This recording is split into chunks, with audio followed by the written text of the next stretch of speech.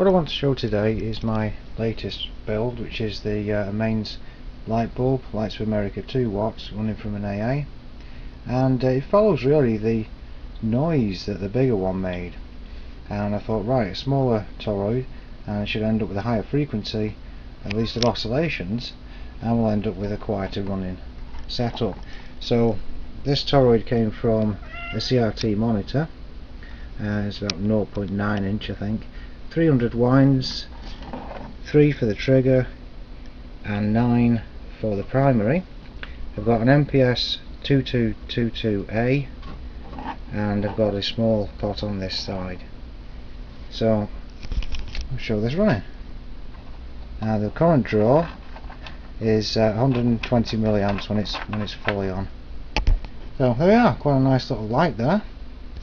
I can change it with the pot and I'll show it dimming down and back up again. And no sound from it which is perhaps the best part. And also it stands up which was uh, quite a relief. But uh, but there we are. So uh, I'm very pleased with that one indeed. It's a good size. Certainly for an emergency light or something like that as well.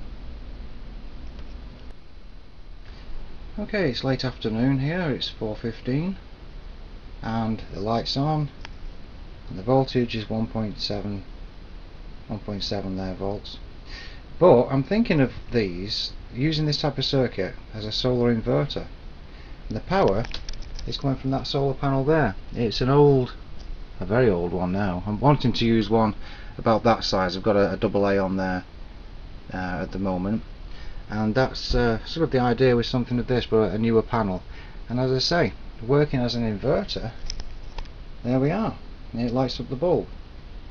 I thought that was very interesting and I do want to uh, move along with that idea.